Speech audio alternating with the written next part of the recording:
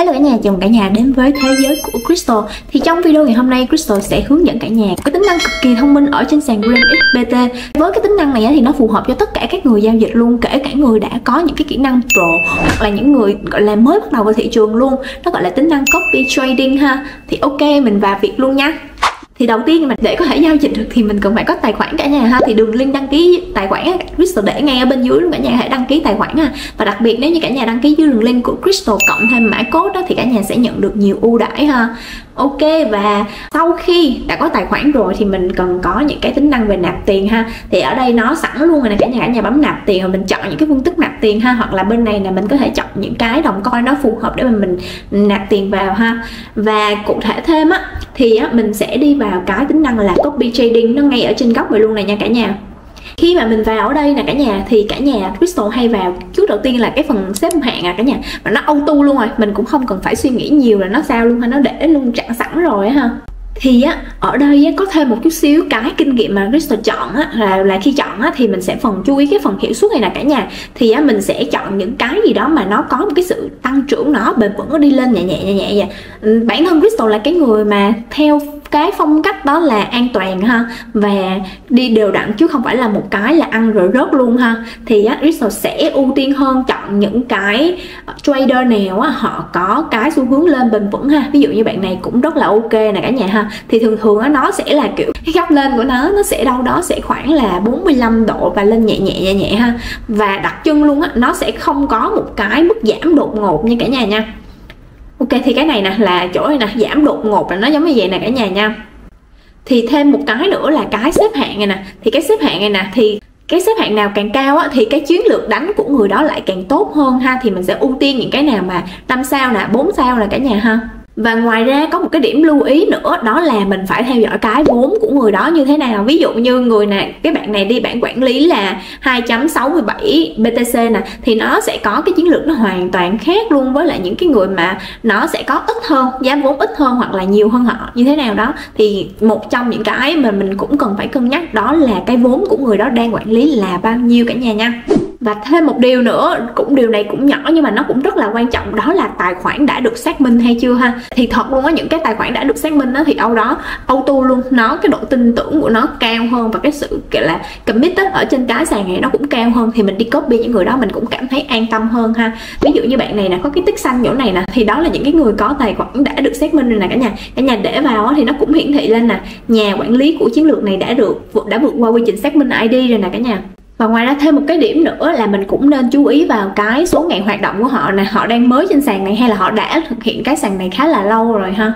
Thì Crystal thì vẫn ưu tiên là kiểu người bình vững mà không có những ưu tiên những cái ngôi sao mới nổi quá nhiều. Ví dụ như bạn này đi thì bản chân Crystal là cũng không ưu tiên nhiều nè. Ở bạn này có quản lý cái số vốn nó cũng khá là thấp nè mới có 10 đô thôi à. Mặc dù chiến lược đánh thì nãy nó cũng ok nhưng mà kiểu đôi khi á, người ta có 10 đô người ta high risk high return á mình không thấy phù hợp lắm với cái cái phong cách này. Thì Crystal sẽ chọn những cái người mà họ có cái quản lý vốn nó cao hơn và cái số lượng ngày tham dự vào nó cũng sẽ cao hơn là cả nhà nha còn bạn nào á mà mình thấy ok là mình ok thấy bạn này khá là phù hợp rồi nè. Mọi thứ cũng khá là tốt lên cũng tốt à, cái số tiền quản lý 83.000 đô, ô 100.000 đô, ok 83k, 85k thì khá là ok với cái bạn này nè. Thì Crystal sẽ bấm vào theo dõi để mà copy của bạn này trade lại ha. Mà cả nhà bấm vào theo dõi thì nó sẽ hiện ra cái bảng này ha cả nhà nha. Ok rồi tôi xác minh rồi nè. Số tiền đăng ký ban đầu tức là mình đang muốn đăng ký bao nhiêu để copy cái bạn này ha? Đó, thì số tiền của mình là bao nhiêu nè? Tại cái tài khoản này là cái tài khoản demo của Listo nên nó sẽ không có tiền cả nhà ha. Rồi phí tham dự nó sẽ là như thế nào? Rồi tổng phí yêu cầu là ví dụ như là tài cái ví của mình đi, nó chỉ có 50 đô thôi mà mình muốn ờ, cái số tiền đăng ký ban đầu là 50 đô thì nó không được, tại vì nó sẽ còn có một cái phí nữa ha, thì mình sẽ phải lên một chút xíu ha. Nói chung là tất cả mọi thứ cái này nè cả nhà, Crystal thấy nó đều là tiếng Việt nên nó cũng khá là dễ luôn ha. Rồi phí tham gia nè, mình muốn giảm phí hay là tăng phí hay là như thế nào đó, thì nó có những cái phần bên này nè, mình có thể check lên để cho Ờ, mình chắc chắn là mình hiểu rõ hết tất cả mọi thứ ha. Nó bằng tiếng việt hết, nó đơn giản nha cả nhà ha. Và thêm một chút xíu thì mình mà muốn coi lại cái danh mục mà mình đang copy trade như thế nào thì mình sẽ thêm vào ngay chỗ là danh mục đầu tư của mình đang như thế nào ha. Thì cái tài khoản này là tài khoản demo nên nó không có cái gì trên này hết cả nhà nha. Ở đây là một cái tài khoản mà Crystal muốn lấy ra phần portfolio nè, gọi là cái phần mà danh mục đầu tư để các nhà có thể coi rõ hơn ha.